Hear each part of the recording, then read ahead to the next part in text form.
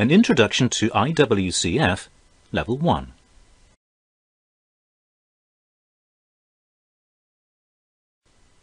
For more than 4,000 years, man has used petroleum in a wide variety of ways, from building the Great Walls of Babylon to lighting homes and streets in the 19th century, we have constantly found new uses for this substance. Even now, in the 21st century, the demand for petroleum-based products shows no sign of slowing. To meet this demand, we must search for reservoirs in more remote and environmentally sensitive regions, such as the Arctic. We are also constantly pushing the frontiers of technology to locate, drill and produce oil in deeper waters, such as the Gulf of Mexico. However, it is not just the technical aspects of drilling that need to be considered. Process safety is of critical importance to safe and successful day-to-day -day operations. We must maintain well integrity throughout the whole life cycle of the well, from drilling through completion and production, for intervention and workover operations, and finally to plug and abandon. Sadly, in 2010, an incident on the Deepwater Horizon drilling rig on the Macondo field in the Gulf of Mexico resulted in the loss of 11 lives. It also resulted in the estimated discharge of nearly 5 million barrels of oil into the Gulf of Mexico. All of us have a responsibility to make sure that an incident on this scale never happens again.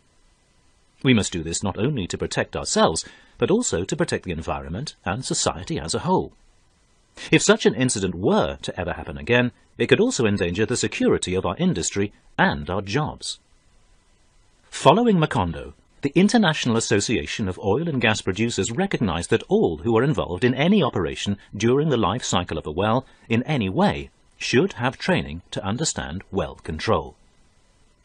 The International Well Control Forum, in cooperation with Oilennium, has produced an e-learning program to give you the knowledge and understanding of the processes which take place during this well life cycle. We will also consider the impact of human factors at every stage of this process. While by no means exhaustive, we believe that this program will provide you with a good level of knowledge to make your career in the oil and gas industry more interesting and more rewarding.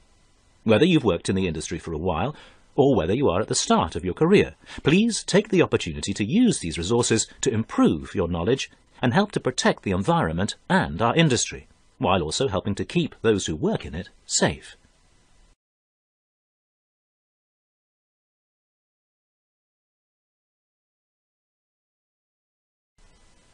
The IWCF Level 1 Awareness course comprises of seven modules. They are an overview of oil and gas, the life cycle of a well, drilling rigs, well control during drilling operations, well intervention and workover, pressure control during well intervention, and conclusion. Click on the modules in turn to hear the learning objectives for each one.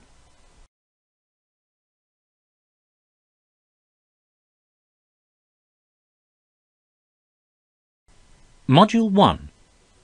By the end of this module, you should be able to recall some of the early uses of crude oil, outline the origins and growth of the oil industry, recognize significant well control events and technological developments, describe why geology is important to the petroleum industry, explain how hydrocarbons are formed, describe where hydrocarbons are found, and identify different methods for finding oil and gas.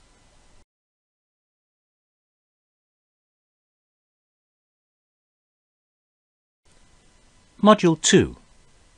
By the end of this module, you should be able to describe the basic life cycle of a well, identify the main components used in the drilling process, describe the casing and cementing process, define the different methods of well intervention, and describe how a well is plugged and abandoned.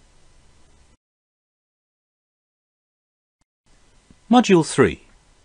By the end of this module, you should be able to Describe what a drilling rig is.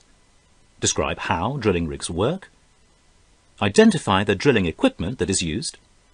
Recognize the various types of drilling rigs. Identify the locations where they operate. And identify the well control equipment that is used.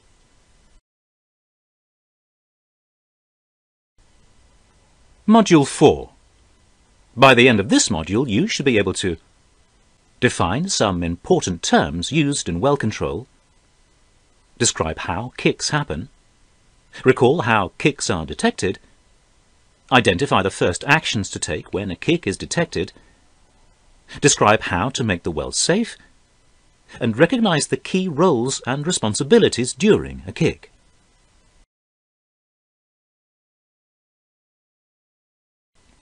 Module 5. By the end of this module, you should be able to recognize the components of a completion or production string and understand their function, describe how well interventions and workovers are performed, and describe why well interventions and workovers are performed. Module 6. By the end of this module, you should be able to define some important terms used in pressure control during interventions, identify what can go wrong during well intervention planning and operations, recall the first actions when a well control situation arises, describe the plugging and abandonment process, and recognize the roles and responsibilities of those involved in the event of a primary barrier failing.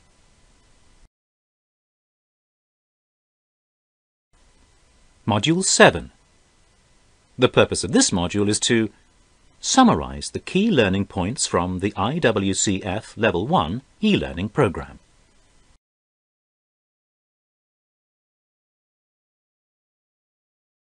Questions will be asked at the end of each chapter and feedback will be given to help reinforce your learning. At the end of each module, a final exam will be used to measure how you got on. Please do not worry about these tests. After all, this is not a compulsory course.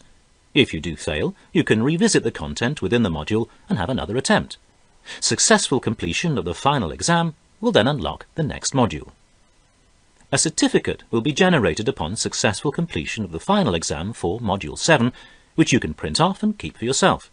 You could frame it, pin it on your wall, or keep it on your desk as a reminder of your commitment to help protect the environment our industry, and all those who work within it.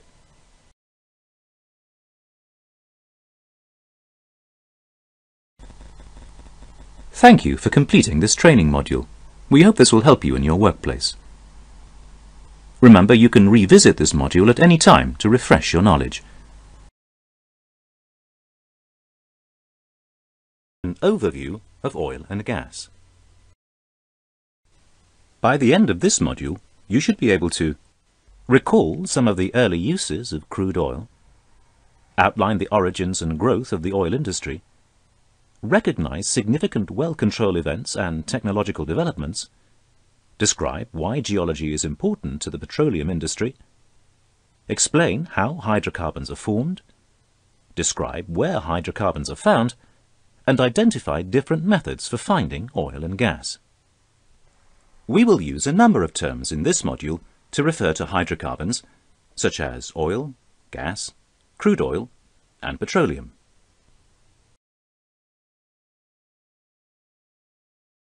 This module consists of six chapters. They are the early years, birth of an industry, geology, rocks and how they are formed, hydrocarbons and where they are found, geology and the petroleum industry, and exploration for hydrocarbons. Each chapter will end with a short knowledge check to confirm your learning.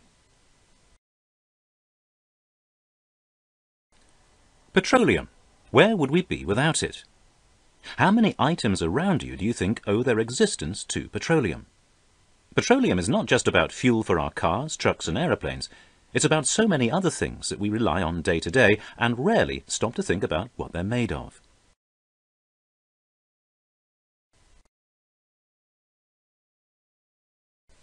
But first, the name. Petroleum is taken from the Greek words for rock and oil. Petroleum, or crude oil, is a naturally occurring, flammable liquid which can range in colour from clear through green, amber, brown to black, and can range from the consistency of water to that of molasses. Once extracted, crude is refined into a large number of consumer products, from natural gas to petrol and kerosene to asphalt and chemical reagents used to make plastics and pharmaceuticals. Chapter 1 the early years. Crude oil has certainly had a colourful history. Some of its early uses were waterproofing wooden boats, and the Romans used it as a weapon for embalming and lighting. The ancient Persians, 10th century Sumatrans and pre-Columbian Indians all believed that crude oil had medicinal benefits. Marco Polo found it used in the Caspian Sea region to treat camels for mange, and the first oil exported from Venezuela in 1539 was intended as a gout treatment for the Holy Roman Emperor Charles V. Right up until the early 1900s, mineral oil, a byproduct of petroleum, was a regular component found in snake oil, the infamous cure-all wonder treatment.